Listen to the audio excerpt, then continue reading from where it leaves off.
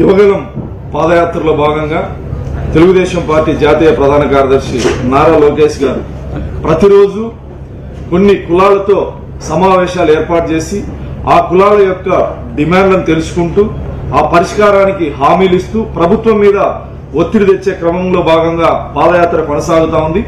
అందులో భాగంగా నిన్నటి రోజు దళితులతో ముఖాముఖి కార్యక్రమాన్ని ఏర్పాటు చేయడం జరిగింది. అందులో కొంతమంది దళితులు లేవనెత్తినటువంటి సమస్యలకు సమాధానం చెప్తూ గతంలో తెలుగుదేశం పార్టీ ఐదు సంవత్సరాల కాలంలో దళిత సంక్షేమం ఈ మూడున్నర సంవత్సర కాలంలో జగన్మోహన్ రెడ్డి దళిత వ్యతిరేక విధానాలు దళిత సంక్షేమాన్ని ఏ విధంగా నిర్వీర్యం చేశారు దాడులు అనే అంశం మీద మాట్లాడుతూ లోకేష్ గారు ప్రభుత్వానికి సవాల్ విసరడం జరిగింది సవాల్ విసరడం జరిగింది. గత ఐదు సంవత్సరాల కాలంలో ఎస్సీ ఎస్టీ సప్లాన్ నిధులు మేము ఏ విధంగా ఖర్చు పెట్టాం? దళిత వాడల్లో ఏ విధంగా మౌలిక సదుపాయాలు సదుపాయాలు కల్పించాం? అదే విధంగా ఇరవై ఏడు దళిత సంక్షేమ పథకాలకి ఎన్ని వేల కోట్ల రూపాయలు ఖర్చు పెట్టాం అని చెప్తూ ఈ ప్రభుత్వం ఇరవై ఏడు దళిత సంక్షేమ పథకాలని రద్దు చేయడమే కాకుండా ఎస్సీ ఎస్టీ సప్లాన్ నిధుల్ని పక్కదారి పట్టించి ఇతర పథకాలకు మళ్ళించి ఎస్సీ ఎస్టీ సప్లాన్ నిధులు దళిత వాడల్లో దళిత సంక్షేమం కోసమే ఖర్చు పెట్టాలని చట్టం ఉన్నప్పటికీ ఆ చట్టాన్ని అతిక్రమించి ఇతర పథకాలకు మళ్ళించిన దాని మీద బహిరంగ చర్చకు నారా లోకేష్ గారు సవాల్ విసరడం జరి- విసరడం జరిగింది ఈ ప్రభుత్వం ఈ ప్రభుత్వాన్ని. అయితే ఇందుకు స్పందిస్తూ సాంఘిక సంక్షేమ శాఖ మంత్రి మేరుగు నాగార్జున గారు ఈరోజు మీడియా సమావేశం ఏర్పాటు చేసి ఏమి అర్హత ఉంది నారా లోకేష్ గారికి ప్రభుత్వాన్ని చర్చకు ఆహ్వానించడానికి లోకేష్ గారికి ఏమి అర్హత ఉంది? వార్డు మెంబరా? ఎంపీటీసీనా? ఎమ్మెల్యేనా? ఎంపీనా? ఏం అర్హత ఉంది నీకు చంద్రబాబు నాయుడు గారి కొడుకు అనే ఒకే ఒక కారణం తప్ప అని చెప్పేసి ప్రశ్నించడం జరిగింది. ఇక్కడ ప్రభుత్వాన్ని ప్రశ్నించడానికి ఆంధ్రప్రదేశ్ పౌరుడైతే చాలు మినిమం కామన్ సెన్స్ మేరు నాగార్జున. అది కాకుండా ప్రధాన ప్రతిపక్ష పార్టీకి సంబంధించినటువంటి జాతీయ ప్రధాన కార్యదర్శి. గెలుపోటములే నాయకత్వానికి నిదర్శనం అనుకుంటే నువ్వు రెండు సార్లు మూడు సార్లు ఓడిపోయి మొన్న ఏదో లక్కు మీద గెలిచినావు. గెలుపే ప్రశ్నించడానికి నిదర్శనం అనుకుంటే ఈ రాష్ట్రంలో ఈ దేశంలో ఎంతో మంది ఉద్యమకారులు ఉన్నారు. దేశాన్ని ప్రభావితం చేసినటువంటి నాయకులు ఎమ్మెల్యేలు కాదు ఎంపీలు కాదు. వాళ్ళతో లోకేష్ గారిని పోల్చడం లేదు కానీ గెలిస్తేనే మిమ్మల్ని ప్రశ్నించాలనుకుంటే అది మీ మూర్ఖత్వం. ప్రధాన ప్రతిపక్ష పార్టీకి సం- సంబంధించినటువంటి యువనేతగా మీకు సవాల్ విసిరే హక్కు ఉంది మిమ్మల్ని ప్రశ్నించేటువంటి హక్కు ఉంది. ఈ రాష్ట్ర పౌరుషు పౌరుడిగా ఎమ్మెల్సీగా మిమ్మల్ని ప్రశ్నించేటువంటి హక్కు ఆయనకుంది. గతంలో మంత్రిగా పనిచేసినటువంటి బాధ్య పనిచేశాడు కాబట్టి ప్రశ్నించేటువంటి హక్కు ఆయనకుంది. ఆయన లేవనెత్తినటువంటి సమా సమస్యల మీద సమాధానాలు చెప్పలేనటువంటి పిరికి సన్నాసివి నువ్వు. నీ శాఖకు సంబంధించినటువంటి జీవోలు నీకు తెలియకుండా బయటికి వస్తే ముఖ్యమంత్రిని ప్రశ్నించలేనటువంటి నువ్వు నారా లోకేష్ గారి మీద నోరెత్తడం ప్రతిసారి నీ పదవిని కాపాడుకునేందుకు వచ్చి లోకేష్ గారి మీద చంద్రబాబు నాయుడు గారి మీద అవమానకరంగా మాట్లాడడం నీకు పరిపాటి.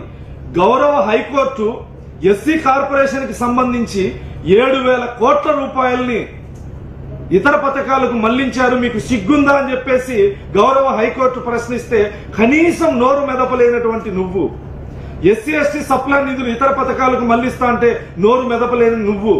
Best available scheme. దళిత విద్యార్థులు పేద విద్యార్థులు ప్రభుత్వ స్కూళ్ళలో బాగా చదివేటువంటి విద్యార్థుల్ని కార్పొరేట్ స్కూళ్ళలో చదివించేటువంటి స్కీమ్ని రద్దు చేస్తే నోరు మెదపకపోగా మౌనంగా ఉంటూ నీ పదవి కోసం దళిత ద్రోహానికి పాల్పడమే కాకుండా ఈ రోజు నువ్వు మాట్లాడుతా ఉన్నావు. కార్పొరేట్ స్కూళ్ళకి డబ్బులు చెల్లించడం వేస్ట్ ప్రభుత్వ పాఠశాలలు మెరుగైన విద్య ఉంది అని చెప్పేసి ఈరోజు మాట్లాడుతా ఉన్నావు. మీరు రంగులు వేసి పాత పాఠశాలలకు రంగులు వేసి అక్కడ నాణ్యమైనటువంటి విద్య ఉంది అని చెప్పడం నీ మూర్ఖత్వానికి నిదర్శనం. ఇంకొకటి ఇంగ్లీష్ విద్య గురించి మాట్లాడుతా ఉన్నావు. ఇంగ్లీష్ విద్య వద్దని గాని రద్దు చేయండి అని గాని హైకోర్టుకు పోయినటువంటి సందర్భం తెలుగుదేశం పార్టీ అధినేత నారా లోకేష్ గారు చేయలేదు. ప్రతిసారి ప్రజల్ని దళితుల్ని పక్కదారి పట్టించే విధంగా మీరు మాట్లాడుతున్నారు ఇంగ్లీష్ విద్య మీద. నిర్బంధ ఇంగ్లీష్ విద్య వద్దు. ఇంగ్లీష్ విద్యనా? తెలుగు మీడియమా? ఇంగ్లీష్ మీడియమా? కోరుకునేటువంటి స్వేచ్ఛ తల్లిదండ్రులకు విద్యార్థులు తల్లిదండ్రులకు ఉండాలని మాత్రమే చంద్రబాబు నాయుడు గారు లోకేష్ గారు చెప్పడం జరిగింది. గతంలో మున్సిపల్ స్కూళ్ళలో మొట్టమొదటిసారిగా ఇంగ్లీష్ విద్యను ప్రవేశపెట్టిందే చంద్రబాబు నాయుడు గారు. ఆ రోజు ప్రతిపక్ష నేతగా జగన్మోహన్ రెడ్డి సాక్షి పేపరు పెద్ద పెద్ద అక్షరాలతో రాశారు. తెలుగును చంపేస్తా ఉన్నాడు తెలుగును కూనీ చేస్తా ఉన్నాడు అని మాతృభాష మీద లేనటువంటి ప్రేమ నటించింది మీరు. కాబట్టి ఆ రోజు సాక్షి పేపర్ను చూడండి. ఇంగ్లీష్ విద్య మీద రెండు నాలుకల ధోరణి మీది మీ ముఖ్యమంత్రి అనే విషయానికి ఆ రోజు మున్సిపల్ స్కూళ్ళలో చంద్రబాబు నాయుడు గారు ఇంగ్లీష్ విద్యను ప్రవేశపెడితే మీరు మాట్లాడినటువంటి ఆడియోలు వీడియోలు ఉన్నాయి. కావాలైతే మీకు చూపిస్తాం మేరు నాగార్జున. అదే కాకుండా శాసనసభలో నిండు సభలో ఎస్సీ ఎస్టీ సప్లా నిధుల గురించి కొండేపి శాసనసభ్యులు మాట్లాడితే స్వామి గారు మాట్లాడితే ఒకే ఒక్క దళిత ఎమ్మెల్యే ప్రతిపక్ష పార్టీ తరపున మాట్లాడితే నిండు సభలో నువ్వు దళితులకే పుట్టావా అని చెప్పేసి ఒక దళితుణ్ణి దళిత శాసనసభ్యుణ్ణి అవమానపరిచినటువంటి నీచ చరిత్ర నీది. నువ్వెవరికి పుట్టావు? ఎవరి కోసం ఇంత ఊడిగం చేస్తా ఉన్నావు? ఈరోజు నేను నేను సవాల్ విసురుతా ఉన్నా లోకేష్ గారు కాదు. ఐదు సంవత్సరాల దళిత సంక్షేమం చంద్రబాబు నాయుడు గారి దళిత సంక్షేమం మీద ఎస్సీ ఎస్టీ సప్లై నిధులు ఖర్చు చేసేటువంటి విధానం మీద దళితుల రక్షణ కోసం ఉన్నటువంటి చట్టాలని సక్రమంగా అమలు చేసిన విధానం మీద గతంలో దళితుల మీద ఏదైనా అరాకొర దాడులు జరిగినా మీరు దాని మీద చర్చకు సిద్ధమా? నేను సిద్ధం. ప్లేస్ నువ్వు చెప్తావా? టైం నువ్వు చెప్తావా? మీ నియోజకవర్గం ఏమూరు నియోజకవర్గం రమ్మంటావా? లేదా సచివాలయంలో నీ చాంబర్ దగ్గరికి రమ్మంటావా? అమరావతికి రమ్మంటావా? ఎక్కడైనా సరే ప్లేస్ నీది డేట్ నీది. నువ్వే చెప్పు నేను వస్తా. ఐదు సంవత్సరాల కాలంలో చంద్రబాబు నాయుడు గారి దళిత సంక్షేమం మీద జగన్మోహన్ రెడ్డి గారి దళిత